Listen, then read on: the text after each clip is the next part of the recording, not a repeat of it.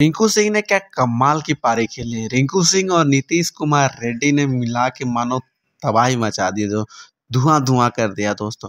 भारतीय टीम एक वक्त लड़खड़ाई हुई थी, छियालीस रन पे तीन विकेट गिर चुके थे। लेकिन दोस्तों, उस समय मोर्चा संभालते हुए रिंकू सिंह और नीतीश कुमार रेड्डी। पहले तेरह गेंद पे मात्र नीतीश रेड्डी तेरह ही रन बनाए थे तो लोगों ने ये कह दिया, भैया, फ्लावर समझा क्या? तो उसके बाद नीतीश कुमार रेड्डी ने बोला, नहीं, अपन फायर है।